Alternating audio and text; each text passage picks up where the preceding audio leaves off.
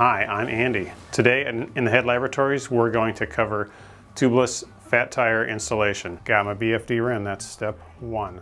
Spend that money, it's worth it. Step two, you'll get a kit with the wheel.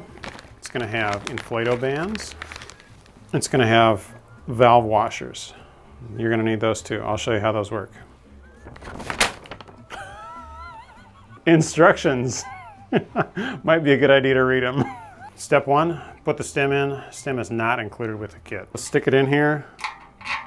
That part's very self-explanatory. You put the stem in the rim. So you got your valve washer.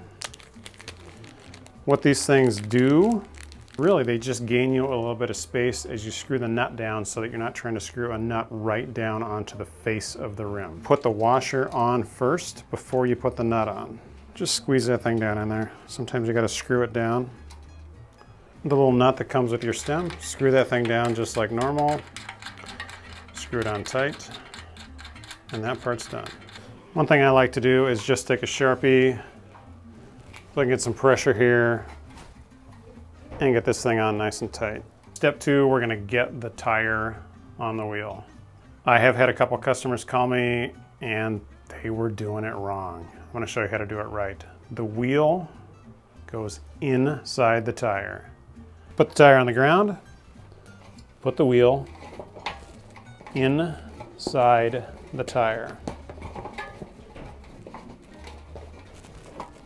Once you got the wheel in, go ahead and get one side of the bead down into that drop section where the bead fits. A little bit like mounting a road tubeless tire, get it down in the smaller section of the rim.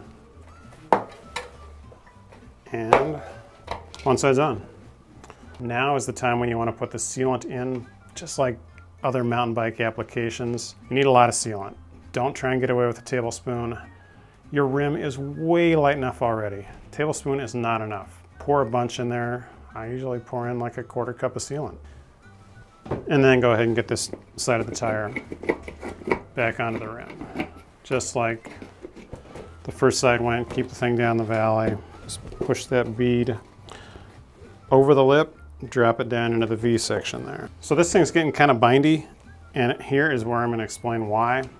I'm trying to push this bead on and it's not going very well. That's because I have the bead here up on the bead shelf, not down in the valley. If you look right here, you can see that the tire's getting really close to the edge.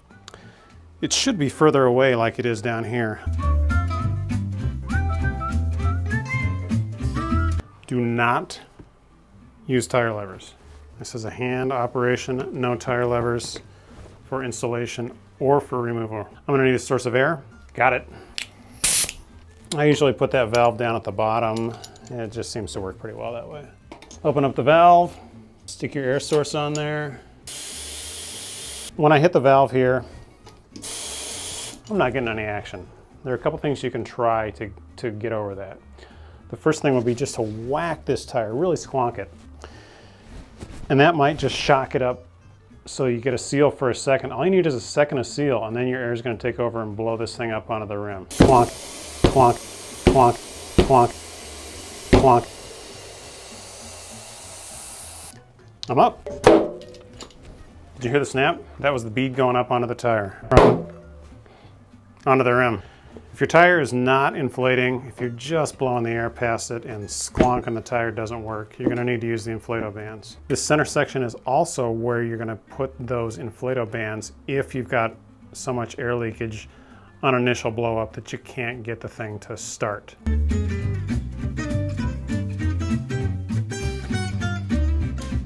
And that's a wrap.